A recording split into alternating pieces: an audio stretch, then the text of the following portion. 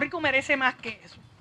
Yo creo que el presidente de la comisión, una vez termine el proceso de primarias, porque yo no quiero crear más caos del que ya hay, termine este proceso, debe dimitir de su cargo. Y si no dimite, se le deben erradicar cargos por negligencia en el cumplimiento del deber.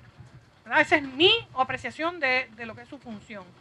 La ineptitud no se tolera, se remueve. El pueblo de Puerto Rico tiene razones suficientes para estar indignado ante la función de él y de los comisionados electorales del PNP, del PPD y del PIB que permitieron a sabiendas lo que pasó allí. La comisionada también culpó a su propio partido, de la que es vicepresidenta, y al PPD por el caos electoral que ha acaparado titulares en toda la nación americana. A mí me parece que la comisión, además del desmadre y el despelote, por no decir la palabra que diríamos en la calle, además de todo eso, ha fallado en lo básico, que es que estos resultados se computen, se calculen y se registren, de manera tal que cuando haya el próximo proceso, que a mi juicio debe ser inmediato, debe ser o mañana, o el jueves o el viernes, esto no se le puede dar más dilación, y menos habiendo una tormenta avisada para Puerto Rico.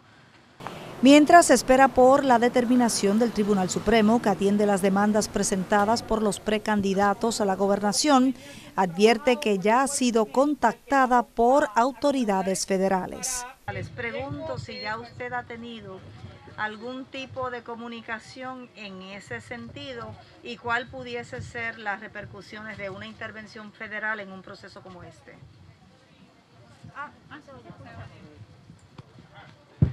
La contestación es sí, eh, pero obviamente todo tiene, hay muchos pleitos radicados en este momento, así que hay que esperar cuál es la resolución final, ¿verdad? Eh, esto, esto es una situación en desarrollo, ¿verdad? Pero sí a que lean ya, sí al hecho de que ya ha tenido... Sí a que ha habido comunicación federal.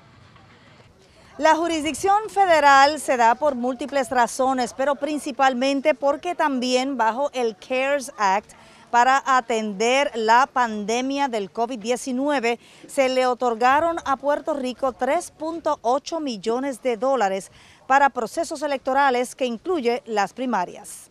La comisionada no pudo votar el pasado domingo, al igual que miles de electores en los 61 precintos, más de la mitad, en los que nunca llegaron las papeletas. Desde Loíza, Mayra Acevedo, Noticias 360.